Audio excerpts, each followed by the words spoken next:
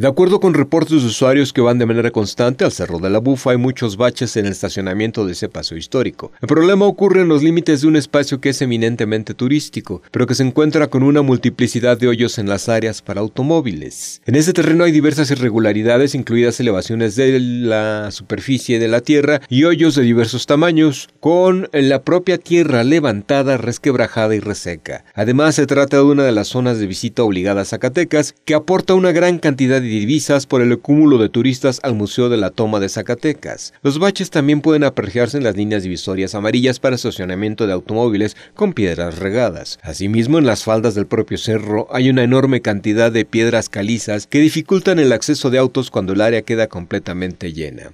Con imágenes de Carlos Núñez, Gabriel Rodríguez, Denuncia Ciudadana.